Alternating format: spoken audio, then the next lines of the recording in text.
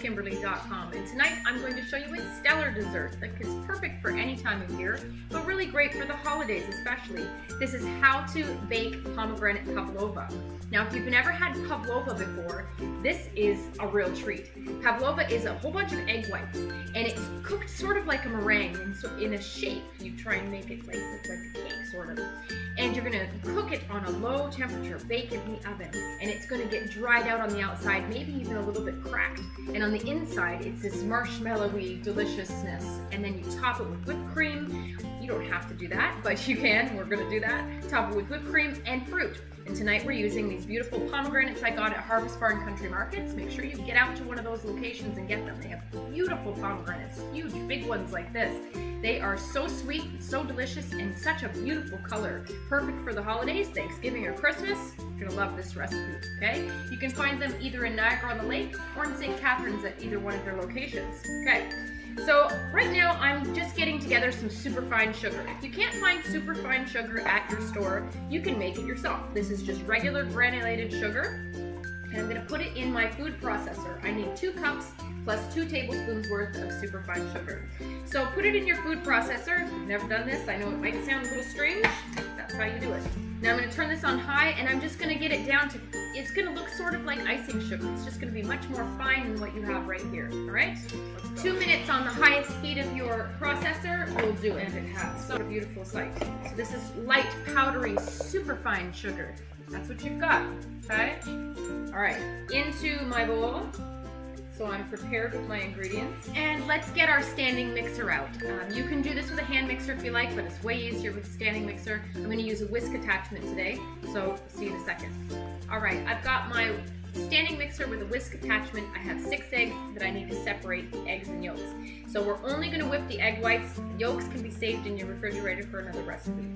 So I like to use my fingers because I feel like that always works best. So I'm gonna use one little bowl to catch the egg yolk, egg white, sorry. And you wanna make sure that you get no egg yolk. So I like to um, put the egg white into a small bowl first to make sure that no egg yolk has gotten into it. It's just how I do it. Use whatever method works best for you.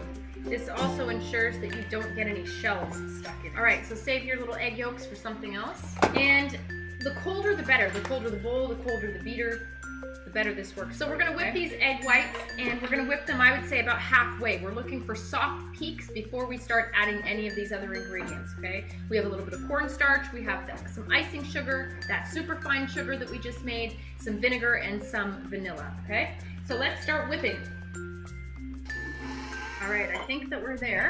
Let's just see what's going on here. Yep, we have some soft peaks forming. Let me show you. And that's all you have. Just little peaks that are sort of holding and sort of not. So on a very low speed, one tablespoon at a time, I'm going to add the icing sugar until it's gone, and then some of the superfine sugar. So very low speed. Just want to add this. Sprinkle it lightly. Make sure that this icing sugar is sifted we're using one cup of sifted icing sugar. You want to make sure that your bowl and your beaters, everything that you're using is grease-free. You don't want um, grease with your egg whites because that's going to weigh them down and it's not going to let them puff up the way you want. Okay? Keep everything washed thoroughly with soapy water. We need this to be light and fluffy, not collapsing. I'm just waiting till the last tablespoon that I added mixes through, stirs through a bit. This is on the lowest speed sugar has all gone in. I'm gonna start adding a little bit of this super fine sugar. Really slowly sprinkle it over top. When about half of this is all added, the sugars, um, I'm going to increase the speed a little bit. Now this is two cups plus two tablespoons of this super fine sugar. Okay, I've added about half of this super fine sugar now. I'm going to increase the speed slightly to finish adding it, still one tablespoon at a time. Scrape down the sides of the bowl if necessary. Starting to get nice and glossy, and that's exactly what you want. So we have to get this sugar mixed in. That's very important. The rest of the sugar, all my sugar is added now. However, my meringue is likely a little bit gritty. Just grab a little bit between your fingers, pinch it, and rub it. If it's still gritty, you still need to go a little bit longer. So it should still be glossy, but be able to hold peaks and is non-gritty. So we're gonna go a little while longer until that happens. Okay, so that went for about five or seven minutes on my highest speed. And you're gonna see uh, that it's much less gritty between your fingers, and you're gonna form nice stiff peaks. So we'll show you that, and this is what you're looking for. Nice, thick, glossy, beautiful stuff going on, okay? So I'm quickly going to stir in some vanilla extract. Make sure you use vanilla extract, not the artificial vanilla, because that's made with byproducts of making paper, paper industry, not cool. So a half a teaspoon of vanilla, I'm using my good vanilla today, and we're just going to stir this in. All right, so let's take this out of here. We have some other things to do quickly before we um, get this all onto our baking sheet. Okay, so I have a baking sheet with parchment and I've measured the size of my cake stand and it's 10 inches across. So what I've done is I took half of that um, as a radius. I put some kitchen string that I cut, measured it out in, with a skewer in one end and a pencil on the other. And I drew a round circle, pretty much, of um, how big my cake stand is. You can see that there. So I'm going to actually put that upside down now. You're going to be able to still see it through your parchment, but you don't want it in your food and lead, right? So that's how we do that to measure. Mom came out to help me, so she gets the beaters. And the next thing I'm going to do is I'm going to sift three quarters of a tablespoon of cornstarch. You don't want any chunks. And I'm just going to sift that over top of my meringue here just to make sure that there's no chunks. This is also going to help thicken it and stabilize it. And we're going to fold that in with some vinegar, believe it or not, white vinegar. We're going to use one and a half teaspoons of vinegar. And we're going to fold that in gently. You don't want to collapse your egg whites at all. Preheat your oven to 250 degrees Fahrenheit, and I have it on my convection setting. All right, so now you're gonna be brave and you're going to dump it right in the center of your circle and you're going to form a lovely mound and you're to try and make it in the shape of a cake. So I just keep piling in the center, that's the easiest, and then we'll form it that. I'm just building as high as I can here because I don't want it to go too much further. Make sure you're looking at your circle. Move quickly because this will start moving out on you a little bit. And I'm just gonna try and even it out on the edges a little bit. So it's a little, um, it's kind of a flatter top so I can put my whipped cream and my pomegranate arils on later. Doesn't that look beautiful? And I'm gonna get this. All right, looks good, eh, Mom? Mm -hmm. Into the oven it goes, quickly, quickly. Okay, I've turned my oven up to 300 degrees just because I'm gonna let that go for about 10 minutes on 300. Then I'm gonna turn it down to finish. This is gonna take an hour or an hour and 20 minutes. You're gonna look for it to be a light pale golden color.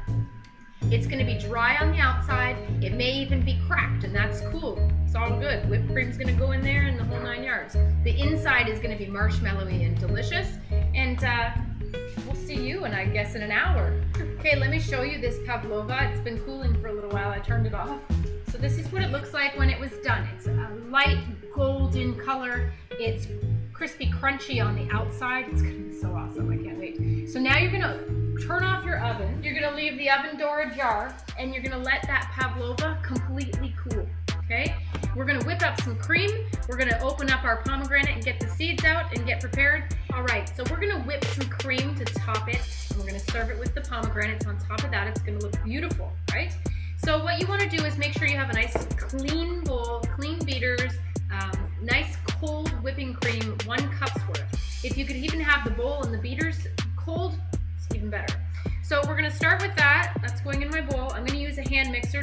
for ease of use. So I have three heaping tablespoons of icing sugar that I'm going to add about halfway through whipping. You're gonna see that as you're moving your beaters through, you're just gonna make lines and it's actually gonna kind of hold. You don't want it all the way. I'm also going to prelude this with, don't go too far with your whipping cream. If it's starting to make nice peaks, you gotta stop, okay? If you go too far, it's gonna get nice and big and fluffy, it's gonna be huge, and then all of a sudden it's gonna go like that. Within two seconds, it's going to be sweet cream butter. And that's definitely not what you want to put on your pavlova butter. So we need to whip this up. So just keep your eye on it. Don't go too, too far. All right, so halfway, we're gonna whip this. Okay, you're gonna see that your cream has thickened, but I ha don't have peaks yet. That's exactly what I want. So I'm gonna add a tablespoon and I'm gonna stir it in on a lower speed. Add some more. Stir it in.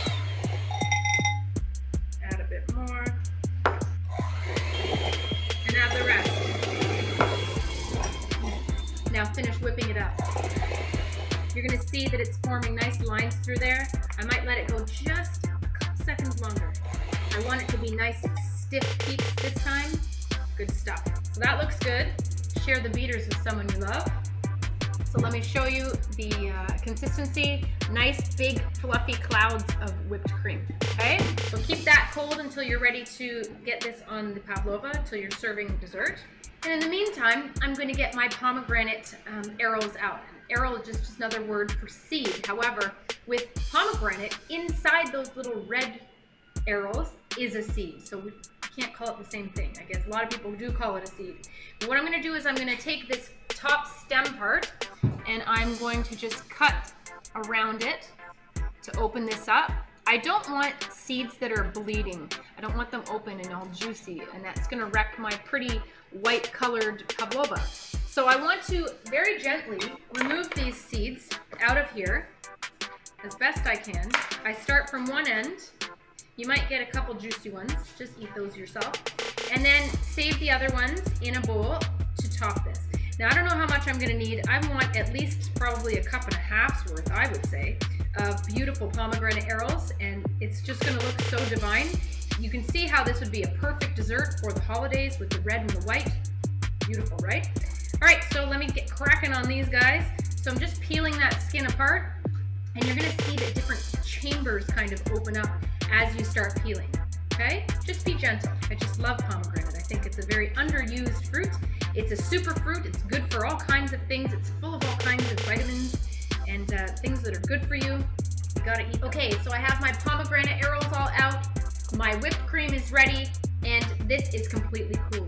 Now we need to remove this to my cake platter, and I'm just gonna use a spatula to unstick it from my parchment if it is a little bit stuck. And we're gonna do our best to move it to our cake platter in one piece. So I'm going to try and do it this way. And I'm just going to slide it off the parchment. Perfect. And voila, it uh, fits my cake stand perfectly. So that's what you've got. And it's supposed to be cracked and like this. No, that's what happens to it. So beautiful. All right, so look how perfect that is. Yay.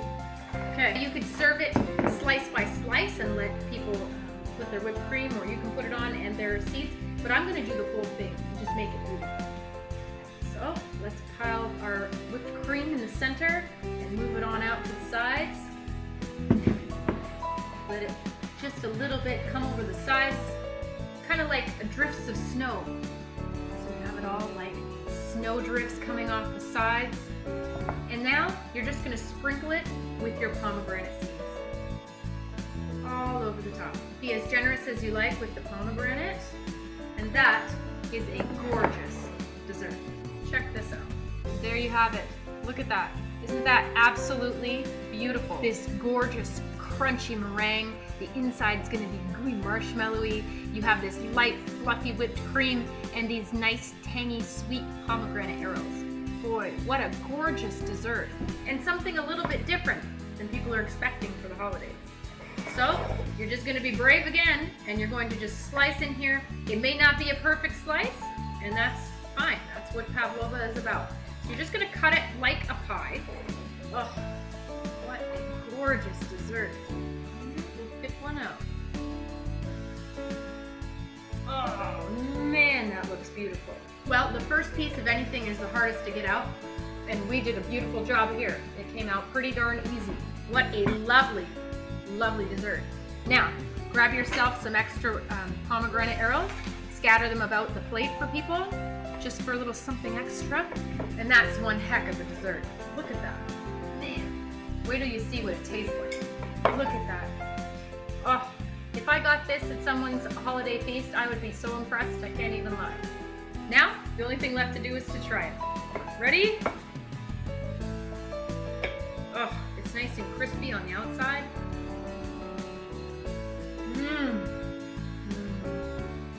Great texture. Mmm. Pomegranate arils are such a treat when someone actually takes them all out of the pomegranate for you. Because they're really tasty, but you want to have a bunch of them. And usually when you're just peeling it and eating it yourself, it's just one little bit at a time. It's nice to be able to get a nice amount of them. The meringue is outrageously good. It's crispy. Mmm. It's light, it's fluffy. The whipped cream, of course, is fantastic. Look at this, you gotta really get after it to get in there. Oh, I love that. What a fantastic dessert. Mmm. Mmm. The center is marshmallowy. Boy. Mm, I love this. Oh, you could do this with any kind of fruit. It'd be a nice treat for any kind of holiday. Even Easter, it'd be beautiful for a birthday cake. I would love that as a birthday cake. Mm. Let me show you this. Look at this all inside here. Oh yeah. we got a nice hole in here. Pomegranates even fell in there. Look at that. Oh, it's gooey on the inside. Mmm. Mmm. The sweet and tanginess of the pomegranates cuts the sweetness. It's so beautiful. What a contrast of color too. You could do that with kiwis, you could do that with berries, you could do. It's typically done with strawberries. Anything would be nice on there. Oh, I love this. Well, I can't wait to serve everybody else. They're all waiting too. And uh, make sure you get out to Harvest Barn Country Markets for some beautiful POM Wonderful pomegranates. That's where they came from. You can also buy these little um, POM Wonderful aril seeds already taken out of the pomegranate for you in little cups. They're available there at Harvest Barn as well. So make sure you check them out online at harvestbarn.ca or go to one of their locations, either Niagara on the Lake or St. Catharines. You're going to be happy you did. Anyway, that's what inspired this beautiful dessert tonight. I hope that you try this one time, um, and you'll be trying it again and again and again after that. Beautiful dessert. Absolutely stellar. Such a conversation piece. Really impressive. Anyhow, that's how you do it. That's how you bake a pomegranate pavlova. That's how you do it. All right. Follow me on Twitter at Cooking with Kim E with a capital E. Like the fan page at facebook.com slash cooking with Kimberly. My shows are on ifood.tv slash cooking with Kimberly, youtube.com slash cooking with Kimberly, and you can find me syndicated on Roku. Come to my website at cookingwithkimberly.com and subscribe. Interact with us and let us know what's going down in your culinary world. All right? Be a champion in your kitchen and eat deliciously. Bye.